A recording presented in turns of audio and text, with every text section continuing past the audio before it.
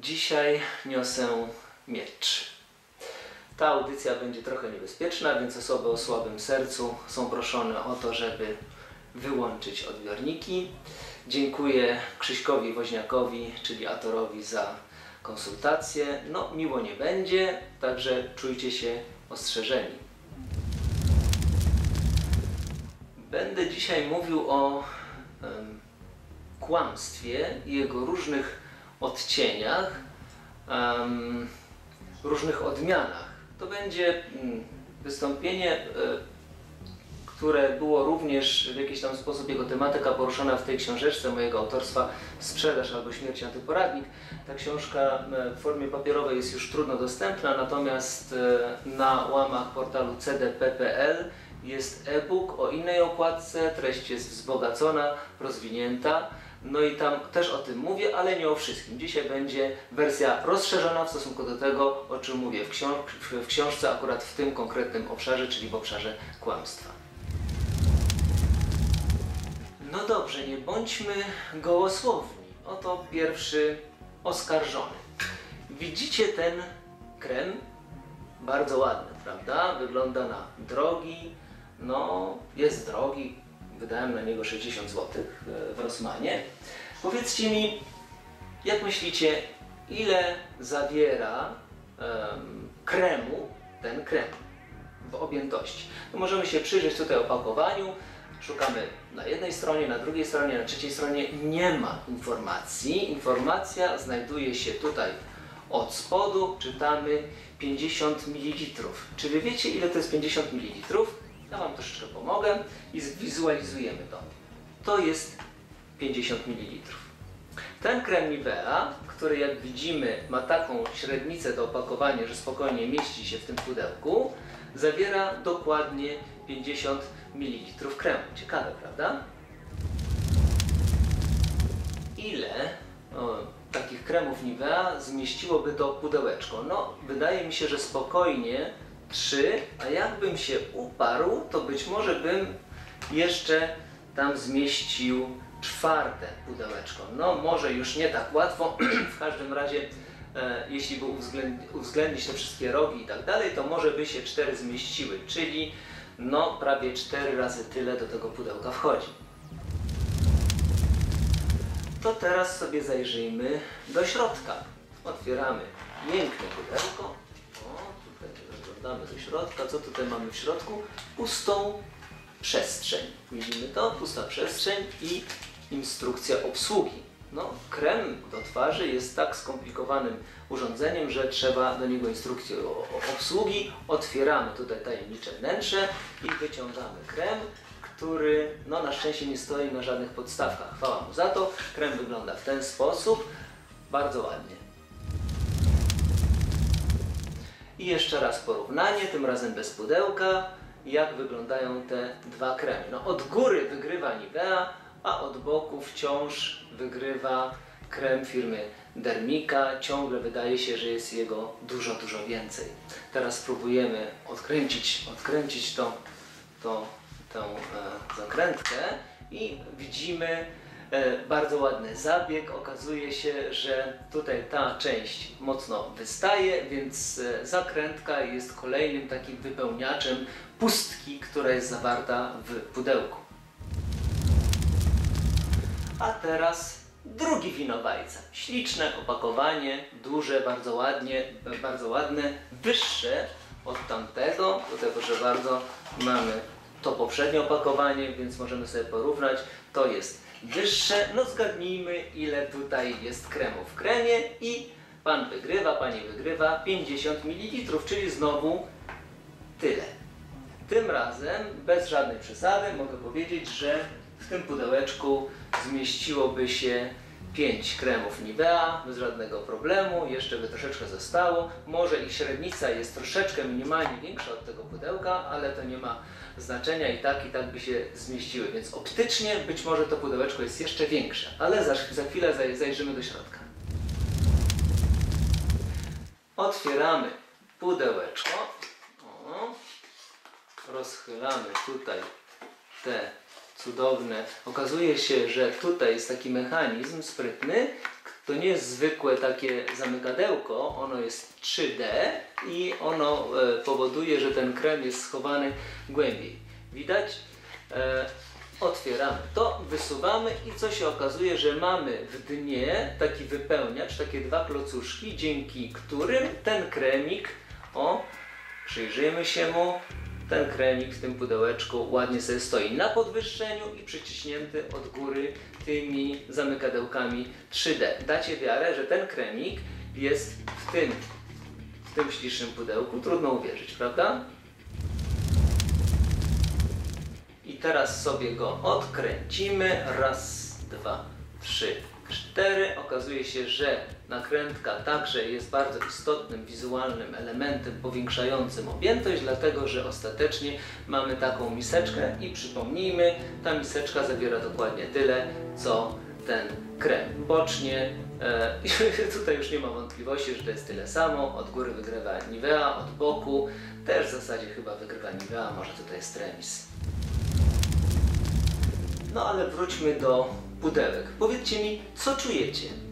Co czujecie? Tylko nie wyskakujcie mi z intelektualizmami, dobrze? Co czujecie? Ja nie pytam o tym, co myślicie. Co czujecie, patrząc na to pudełko, na to pudełko i na to pudełko? Ja powiem Wam, co ja czuję. Ja się czuję oszukany. Ja się czuję oszukany. Oczywiście e, intelektualista odpowie mi, że jest napisane na tych pudełkach, że one zawierają e, kremy o e, pojemności 50 ml. Tak, to jest napisane, to jest prawda, to jest napisane wszystko zgodnie z prawem. To dlaczego te pudełka są takie duże? Dlaczego one są takie duże? Ja Wam powiem dlaczego. Moim zdaniem wielkość pudełka jest również informacją. Jest informacją, którą to informację odbiera nasz mózg. Mózg klienta odbiera informację związaną z wielkością pudełka o wiele silniej niż informację związaną z tymi e, cyferkami tutaj na spodzie. Zresztą najczęściej nasz mózg nie szuka tej informacji, tej cyferkowej, bo ogląda ładne pudełko, kolorowe, przyciąga wzrok, nie patrzy tutaj na spód. To jest informacja. A co mówi ta informacja? Moim zdaniem zdaniem zwykłego szarego klienta, ta informacja mówi, w środku znajduje się olbrzymi, genialny, fantastyczny krem. Duży krem. Dlatego, że nasz mózg interpretuje to, co jest duże, w ten sposób, że w środku znajduje się coś dużego, a nie coś takiego malutkiego. Przechodzimy do gastronomii. Powiedzcie mi, ile lasek wanilii może być w takim opakowaniu? czytamy na opakowaniu wanilia w laskach. A co mamy na zdjęciu? Na zdjęciu mamy kilka laseczek wanilii, raz, dwa, trzy, cztery, pięć, związanych ślicznym sznureczkiem. Chcecie wiedzieć, ile tutaj w środku jest lasek wanilii? Ja Wam powiem, jest jedna. Jest jedna, to takie źdźbło jest, malutkie, to to jest oczywiście przeze mnie już ugryzione, żartuję oczywiście, nie gryzę, nie gryzę wanilii. Jest tej samej długości co ta torebeczka, ale jest jedna laska wanilii, a informacja na opakowaniu brzmi wanilia w laskach, nie w lasce. Oczywiście na odwrocie jest informacja, że to waży 2 gramy, zresztą jak człowiek weźmie to w rękę, to e, czuję, że to jest tyle co nic. Ale co z tego? Dlaczego to opakowanie jest takie wielkie i dlaczego e, jest takie szerokie, kiedy wystarczyłoby coś dużo węższego i dlaczego jest napisane wanilia w laskach i jest zdjęcie kilku lasek wanilii? Hm? Jak się czujecie z tym? Tutaj w tej torebeczce jest 30 gram gałki muszkatołowej. Torebka jest przezroczysta, klient widzi, co kupuje. A tutaj w tej torebce imbiru, ile mamy imbiru, jak myślicie? Hmm? Torebka jest podobnej wielkości, może minimalnie mniejsza, za to kolorowa. No to ja Wam powiem, tutaj jest 15 gram imbiru, czyli połowę tego, co w tej torebeczce, ale tego nie widać. Teraz przechodzimy do słodkości. To są wedlowskie baryłki. Ważą 200 gram. Wiecie ile to jest 200 gram? To są dwie tabliczki czekolady.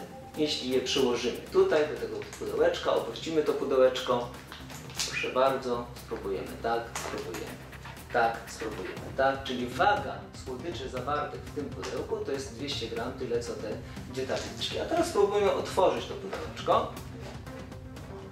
No, proszę bardzo, są tak ślicznie upakowane. Każda osobno, bo to taki wielki skarb jest, prawda? Spróbujmy je teraz wyjąć i położyć na tym pudełeczku. No, zadałem sobie trud i wyjąłem wszystkie baryłki. Teraz ja je przytrzymam tutaj dłonią. Możemy zobaczyć, jaką powierzchnię, jaką powierzchnię zajmują tego pudełka. Jedna mi upadła, idź ty brzydka. E, spójrzmy też, jakiej wysokości są te baryłki. One są praktycznie tej wysokości, co e, pudełeczko. No jak się z tym czujemy? Ciekawy jestem, ciekawy jestem, jakie jest Wasze zdanie na ten temat. Bo można by powiedzieć tak, no cóż, żyjemy w takich czasach, wszystko jest napisane na tych pudełkach, wszystko jest opisane. Jak klient jest e, inteligentny, zmyślny, to sprawdzi, zajrzy i nie da się oszukać. Ale z drugiej strony zwróćcie uwagę na słowo, które użyłem oszukać. Nie od dzisiaj wiadomo, że człowiek to istota wzrokowa, prawda? Kupuje wzrokiem, tak? Mami go wielkość. Ta wielkość ma pewną konkretną misję do spełnienia. Ma przekazać informację, że kupujesz coś dużego, coś fajnego, ale przede wszystkim coś dużego. Ja osobiście jestem wściekły. Jestem wściekły na tę grandę opakowaniową, która nas otacza. Wciąż i wciąż rozdmuchuje się, nadmuchuje się opakowania, żeby e, tworzyć w naszych mózgach e, wyobrażenie, że kupujemy coś dużego. No miły Bóg, jak długo można dalej? Do jakiego stopnia posuną się jeszcze producenci opakowań? Opakowań. Zaczną je nie wiem, nadmuchiwać, zaczną tam wrzucać siano do tych opakowań, jakieś kulki styropianowe. Jak daleko to jeszcze zajdzie? Ja mam już tego dosyć. Jeśli ktoś chciałby powiedzieć, że przecież te baryłki to jest e, bombonierka i nie ma co się obrażać na to, że tutaj w środku jest tylko tyle baryłek, to moja odpowiedź jest taka. Dlaczego to opakowanie nie jest przezroczyste? Tak jak na przykład Ferrero Rocher. Tamte czekoladki są sprzedawane w przezroczystych opakowaniach, klient dokładnie wie, co kupuje. I drugie pytanie moje brzmi tak. Gdyby za przezroczystą szybką było coś takiego, to kto by to kupił za tę cenę? To jest moja pierwsza książka, Game Deck, książka e, pierwsza w sadze Game Deck, Granica rzeczywistości. W tej chwili w formie ele- elektronicznej ona już wygląda inaczej. Stron 358. 358. Jak byście się czuli, gdyby, tak jak w przypadku, tak jak w przypadku tego kremu, było w tej książce jeszcze trzy razy tyle pustych kartek. Czyli ona byłaby mniej więcej tej grubości i co każdą kartkę zadrukowaną byłyby trzy puste. Jakbyście się czuli czytając taką książkę. Z tyłu byłaby informacja. Książka zawiera 358 stron. Ale co byście kupili? Grubą książkę czy informację z tyłu? I co byście czuli, widząc co chwila pustą przestrzeń e, bez treści? Powiedzielibyście, że to granda, prawda? To jest moja najnowsza książeczka CEO Slayer Pogromca Prezesów. Stron 300, prawie 90, powiedzmy 400. Jakbyście się czuli, gdyby ta książka miała e, wizualnie stron 1200? No, źle, prawda? Zwłaszcza, że w środku byłoby głównie powietrze. No to jest mniej więcej to samo. Ostatni rozdział tej krucjaty dotyczy troszeczkę innego zjawiska. Tutaj mamy ptasie mleczko wiadomej firmy. E, Jeśli chodzi o zawartość, to wszystko wydaje się być w porządku, dlatego że mamy tutaj dwie tacki, te czekoladki są opakowane dosyć gęsto, nie ma się do czego przyczepić, a ja mimo wszystko się przyczepię. Spójrzmy tutaj na gramaturę. 380 gram. Czy pamiętacie, czy pamiętacie czasy, w których ptasie mleczko ważyło pół kilograma, czyli ważyło 500 gram? Mhm. A tutaj mamy masło. Masło. Jedno Pierwsze lepsze wybrane przeze mnie ze sklepu. Wygląda normalnie, jest to zwykła kostka masła. E, nie oszukana, nie nadmuchana. A gramatura to jest 200 gram. Tutaj z tyłu można przeczytać. Nie wiem, czy to będzie widoczne. I znowu pytanie brzmi, czy ktoś pamięta czasy, kiedy szło się do sklepu po masło i mówiło się poproszę ćwiartkę masła. Dlaczego ćwiartkę? Bo kiedyś kostka masła to było 250 gram. Mam wrażenie, że po transformacji, po tym jak niektóre firmy zostały przejęte przez e, innych właścicieli i e, wskutek ogólnego trendu bardzo wiele e, produktów zmniejszyło się objętościowo, gramaturowo, gramaturowo, nie objętościowo, objętościowo się powiększyły, gramaturowo się pomniejszyły, a ceny się nie zmniejszyły. Takie mam wrażenie. Ciekawe, prawda? Tak jak zapowiedziałem, miecz został wniesiony. Co mogę powiedzieć na, na zakończenie? No mam taką propozycję. Nie zgadzajmy się na to wszystko i nie używajmy takich em, racjonalizacji, że oni przecież muszą zarabiać, że oni przecież w jakiś tam sposób mają swoje koszty, że każdy wie, że takie zabiegi się stosuje. Nie każdy wie, bo gdyby każdy wiedział, to one byłyby nieskuteczne. A jeśli byłyby nieskuteczne, to nikt by ich nie stosował. One są stosowane, bo są skuteczne. Więc im częściej jako obywatele tego kraju będziemy protestować i im częściej będziemy mówili, że to nam się nie podoba, im częściej będziemy się nie zgadzali, jeśli coś w brzuchu, coś w naszych uczuciach będzie nam mówiło, że jesteśmy robieni w konia, tym być może więcej wywalczymy. Taka jest moja propozycja. Jak będzie?